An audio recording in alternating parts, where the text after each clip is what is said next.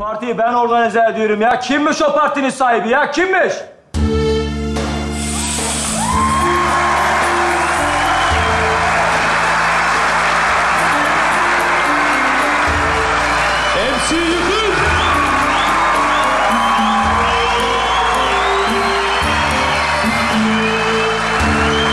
Sıfır altı.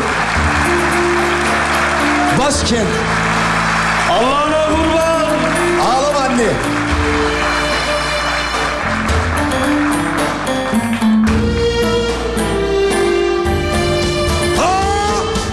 bu geceleri Serseri bedenim. yandı bu güzelim Sen mi göremedin? Yaralarım benim Hep tuz istiyor. Mangal yüreğim Seni göz istiyor. MC yıkarım Dertliyim kardeş. Sokak köpekleri gibi Gibi sana muhtaç. Başım çatlıyor Yok mu tasvirin bu Bu şarkı şarkı patlıyor biraz ses verin Yok yarasa. Oğlum bu site çocuğu hiçbir şey bilmiyor lan. Site. Oh. Bünyamin, öyle söylenmez. Haklısınız öğretmenim. Sikir git lan. Haziran ayında yapılacak olan YKS başvuruları tamamlandı.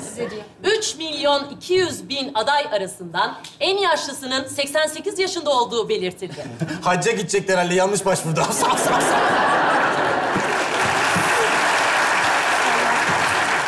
Adayın adının Fevziye Taşkın olduğu söylendi.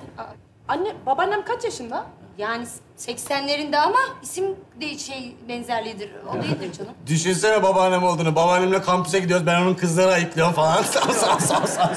Hayvan, hayvan. Sen kız için mi okuyacaksın? Evet, üniversitede kızlar teklif ediyormuş. Ben de teklif edeceğim. Evet. Ay delirtmeyin beni. Evet, adayın kayıt fotoğrafı da ortaya çıktı. Aa, babaannem. Sırat Köprüsü'nde mobese yakalanmış gibi.